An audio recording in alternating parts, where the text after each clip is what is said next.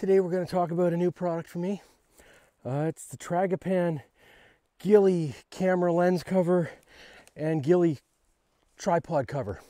I'm a huge camp fan of camouflage. Uh, when I'm working out in the field, I find it has uh, you know huge benefits uh, for hiding myself. You know, scared, not scaring the subjects, hiding from people, just people walking by where they just don't see you. So just they just keep on walking. They're not nosy, which eh, I'm kind of partial to that. So this is a product from Tragopan uh, blinds. They make all sorts of blinds and ground blinds, uh, covers for photography. Uh, unfortunately, with camouflage, almost always coming from a hunting-based company. Uh, so whenever I see camouflage coming from a camera uh, specific uh, design company, I'm a huge fan of it. I definitely want to support it. I think it's you know it makes you you feel a little bit better about uh, the intentions of the product. It works really simple. It's just a draw cord around the legs. Uh, makes for really easy on and off. They just slide up and on. Uh, quick and easy to put on. Uh, lightweight. Um, I have a a hide from lens coat, which is a kind of a pullover, and this is about half the weight of that, uh, which is really nice when you're out in the field. Anytime you can drop a little bit of weight off your gear makes a huge, huge benefit. Um, what I really like about this, they also make a, a, woodland camo one, which is more like a leafy um, design, and it, it looks like it works reasonably well, but I do find it doesn't break up the tripod um, structure as much as this does, uh, especially in the mossy forest that I you know typically shoot in. Uh, what I like about this design too, because of the, the hairiness of the legs, um, it also provides uh, a good block for you. So it actually works as an effective blind when you're standing behind it. So you don't have to have a blind over top of you.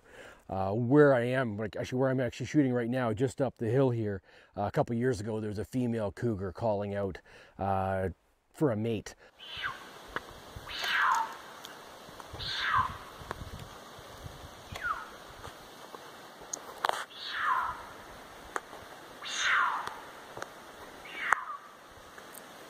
You know, having a blind over top of you, a lot of times you can't see what's behind you.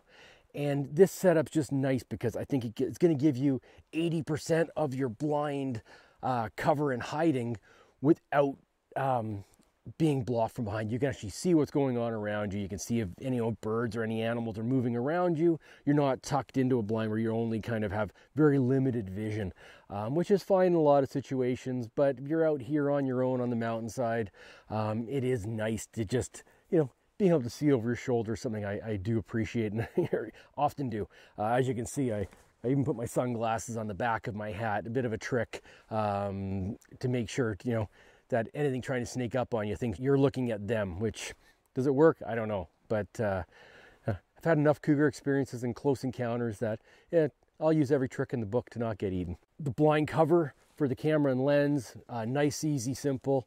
Uh, has a nice uh, strap around the front so you can cinch that tightly around the uh, lens hood, keep it in place. The back of it has a draw cord so you can actually snug this up right around your camera. Personally, I'm not a fan of having the camera covered.